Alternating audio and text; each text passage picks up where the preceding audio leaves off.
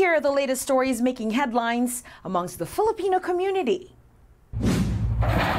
Let's begin with news in the aftermath of Hurricane Ida. Two million Louisiana residents still have no access to power for the fourth day Wednesday, and authorities are rushing to set up cooling centers because of the sweltering heat. Officials are also urging people to stay away from their homes for now, but many of these residents are reportedly defying orders.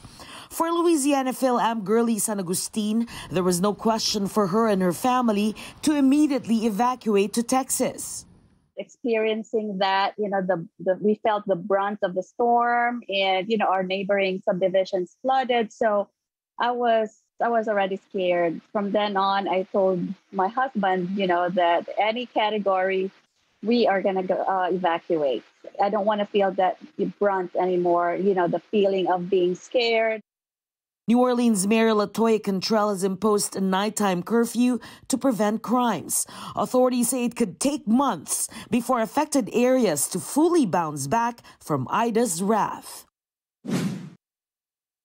Let's go to San Francisco, where some Philam business owners have mixed feelings about the city's mandate requiring proof of vaccination for all employees and customers of restaurants, gyms, bars, and entertainment venues.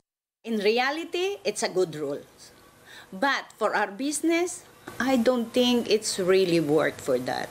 Diaz Guzman says her business has been barely getting by because of the shelter in place orders. That's on top of employers allowing their people to work from home and the general fear of COVID 19. Event planner Anthony Schlander, on the other hand, welcomes the new vaccine mandate.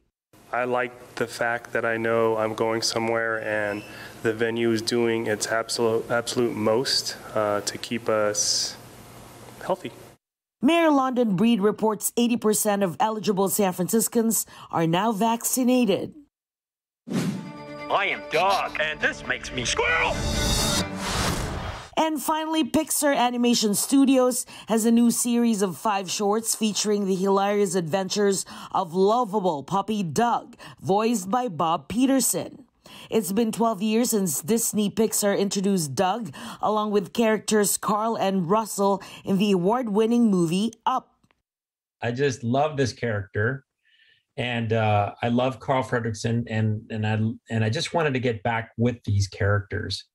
The five episodes of Dug Days can be seen on Disney Plus.